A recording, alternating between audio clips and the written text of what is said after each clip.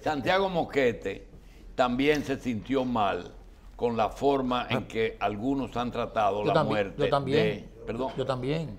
la muerte de Ramón Pérez Martínez. Adelante.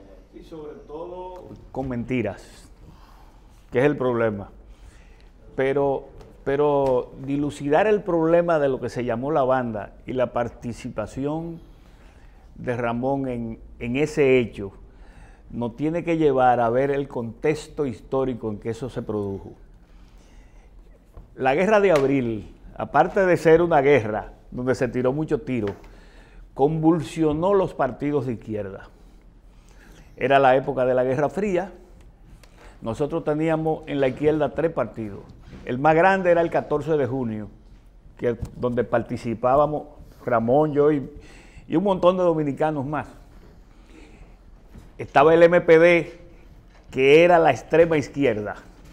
El, MPD en aquel momento, en, la guerra, se divide y el Moreno asume la dirección del MPD. El 14 también tenía unas convulsiones.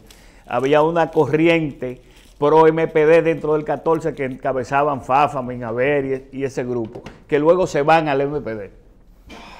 Y existía el PCP, que en medio de la guerra se divide y de ahí sale el Partido Comunista Dominicano con Narciso, que todavía creo que lo dirige. Esa era la izquierda de esa época. Eh, la guerra convulsiona esa izquierda, pero además el momento internacional también. Eh, la izquierda se segmenta no solamente por lo que pasaba aquí, sino por la influencia de los partidos de afuera que le daban apoyo a los grupos criollos.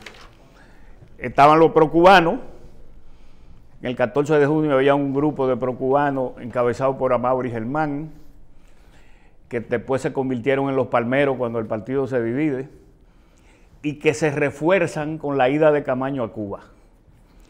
Estaban los prochinos, el 14 de junio manda una delegación enorme en el 67 a China, y encabezada por Homero Hernández. Y ese grupo de China, estamos en un proceso de prepararnos para una guerra que se iba a desarrollar con el movimiento de Camaño en Cuba. Pero los que vienen de China vienen totalmente contrarios al foquismo, como le llamaban en aquel momento. Vienen con otra idea de que las murallas eran las masas y que había que desarrollar un movimiento de masa, desarrollar un partido, y eso convulsiona enormemente.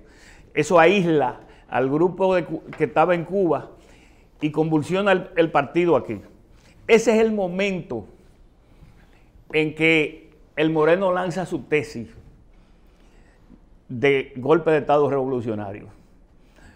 Mientras estamos hablando de que lo mejor al campo y de convencer campesinos para guerrilla y demás, el Moreno dice que no, que es un golpe de Estado lo que hay que dar. Y comienza a crear una estructura que se llamó eh, eh, Comando Revolucionario Clandestino, CRC. Y llena los barrios de esos, de esos comandos. Evidentemente, la mayoría de la gente que constituyó esos comandos eran lumpenes. La, en, la, en la guerra el lumpenismo se desarrolló mucho. Mucha gente se hizo revolucionario a la carrera. ¿Qué? Y entonces... Perdón, perdón, una pausa. Espérese, acuérdese. Para los que nacimos en el 60, del 69 para acá, ¿el lumpen qué es?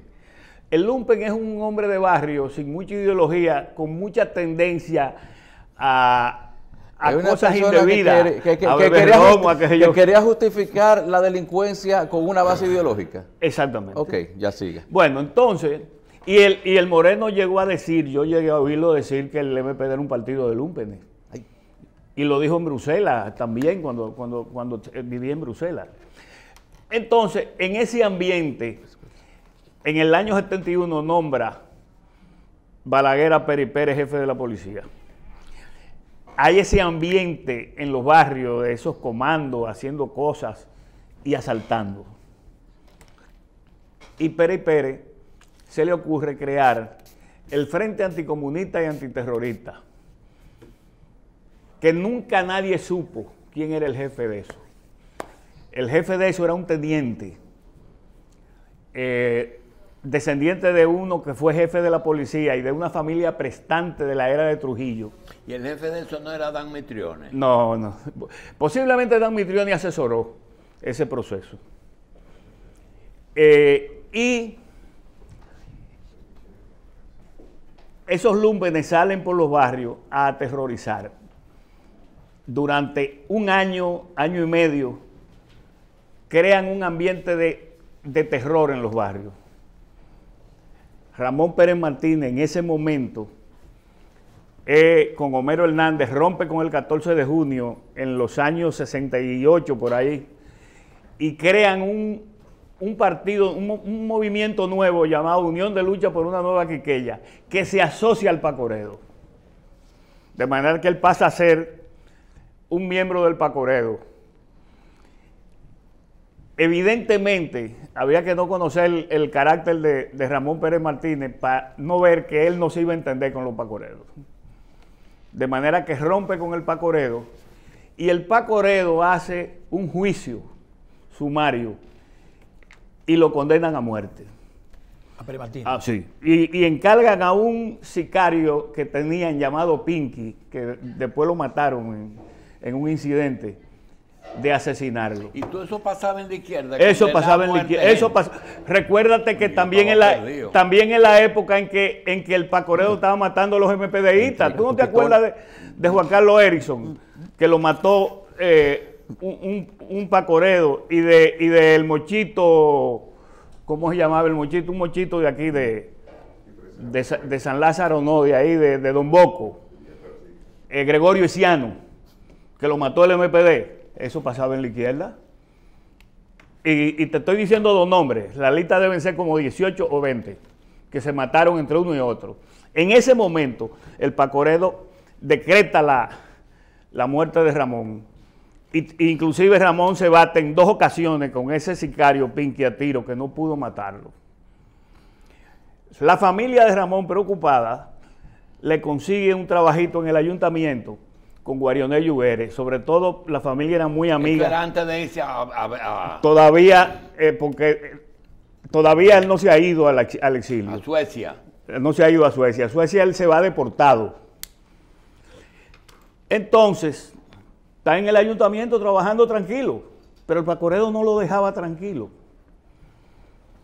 En eso surge el problema de que ese señor que era teniente de la policía, hijo de una familia prestante, trujillita, y, eh, hijo de un jefe de la policía, que uno que fue jefe de la policía, mata a los cinco muchachos del club Héctor J. Díaz. Eso está documentado y se sabe el nombre de quien lo mató. Y Balaguer lo saca del país y lo mete de secretario de tercera clase en la Embajada Dominicana en Guatemala y lo esconden en Centroamérica en ese ambiente, la gente de Peri Pérez, recuérdense que en esa época habían los dos famosos grupos militares, el grupo Peri Peri y el grupo Nival. El grupo de Peri Pérez se reúne de urgencia porque se le ha armado una situación crítica. Esos cinco muertos, tú debes recordarte de eso, Julito. Lo del, lo del, lo del club Doctor J. Díaz, que aparecieron muertos por donde quiera. El, incidente se produce de, esta manera. ¿Eh? Héctor J. Díaz. El incidente se produce de esta manera el teniente apresa a los muchachos y lo mete en, en el asiento de atrás de un carro. Hay un sargento manejándole. Dicen que ese sargento, ese teniente, usaba alguna sustancia rara y comienza a interrogarlo con una 45 en la mano y a presionarlo ya. Y se le zafa un tiro y mata a uno. Eso está en el expediente que está en la fiscalía. Que si el chino Bujosa quiere que lo vaya a ver. Y el, resultado es que se asusta y tiene la genial idea de matar a los otros cuatro y entonces lo tira en diferentes puntos de la ciudad. El otro día cuando, cuando amanece eh, la ciudad, que por aquí aparece un muerto, por aquí otro, Radio Comercial acababa de inaugurar una unidad móvil que la manejaba Cabito Gotró, Nelson Sánchez y Eulalio Almonte Rubiera. Y eso fue todo el día. Y aquí hay otro. Ese, eso creó una conmoción en el gobierno de Balaguer. Cuatro o cinco días después. Bueno, esa reunión que hace el grupo de Peripere de emergencia se plantean que hay que reestructurar ese frente anticomunista y antiterrorista que el país le puso la banda. Y, y Guarioné dice que tiene un muchacho que fue dirigente de izquierda, que tiene la inteligencia y la capacidad para transformar eso en una real organización que sirviera para lo que ellos querían. Era un momento en que había un bandidaje de izquierda que ellos quisieron controlarlo por esa vía, usando ese instrumento. Entonces, llaman a Ramón, le explican la situación, tenía 22 años, tomen en cuenta eso, y él asume hacer eso. No se sabe quién es el jefe de la banda porque eso era una cosa apócrifa. Él comete un error, que lo primero que hace es llamar a Miguel Hernández, que tenía un programa los sábados que se llamaba Cuarto, Poder, y le pide a Miguel Hernández que le prepare el escenario del sábado siguiente, que va a hacer unas declaraciones sobre la banda. Ya él le dice a Miguel que él está dirigiendo ese, ese estamento parapolicial. Hace su programa el sábado. El país no sabía quién era el jefe de la banda y él aparece como jefe de la banda de manera que desde ese momento, año y medio de atropello, le caen arriba. Pero inmediatamente Balaguer quita a Peri Pérez y pone a Aníbal. Y Ney Aníbal lo apresa.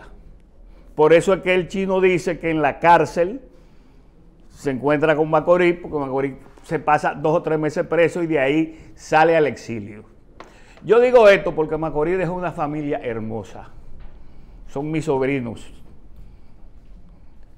son inteligentes, bien preparados, gente de bien. Decente. Y, han tenido que sufrir el escarnio que sufrió su papá, que nunca quiso eh, debatir esa situación, ni siquiera presentarse a, rebatir cosas que, que son mentiras y que, y que están en los tribunales, en expedientes, que, que lo pueden ver. El que quiera puede ir a pedir el expediente de, los cinco, porque un juez de instrucción hizo una investigación y está ahí. Inclusive, cuando salió el libro de Zapete, que dice que él mató a esos muchachos, yo le dije, Ramón, querellate contra Zapete. Y no quiso. asumió una actitud muy estoica y digna frente a ese caso. Y esa es la verdad de lo que pasó en esa época. Y lo, y lo hago básicamente por sus hijos, que, lo viven avergonzando con eso. Hay una muchachita que es profesora en la escuela de la judicatura y en, óyeme, que, que, me decía ayer entre y, y, y en la universidad me viven diciendo, y todo eso es mentira. Ramón fue un hombre digno que, hizo, trabajó por su país, se comportó como un patriota, siempre pensó, yo que lo vi en funciones públicas y tuve a su lado, siempre pensó en el interés nacional, siempre. O sea, fue un gran dominicano y no merece que toda esa basura le llegue a su memoria y le moleste a su familia.